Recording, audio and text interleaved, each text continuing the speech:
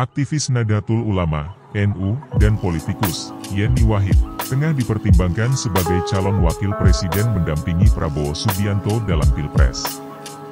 Yeni menyatakan kesiapannya untuk fokus pada perjuangan demi kepentingan masyarakat, tanpa memastikan kesediaannya sebagai cawapres.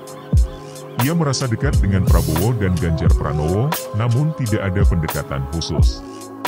Yeni juga menyatakan kemungkinan merapat ke tim pemenangan Ganjar Pranowo, tetapi menolak berada dalam koalisi Anies Baswedan dan Muhaimin Iskandar.